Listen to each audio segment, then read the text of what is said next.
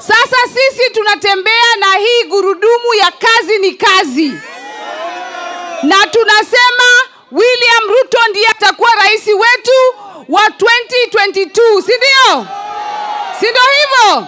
Wako wapi mahasla wa hapa? Asante sana.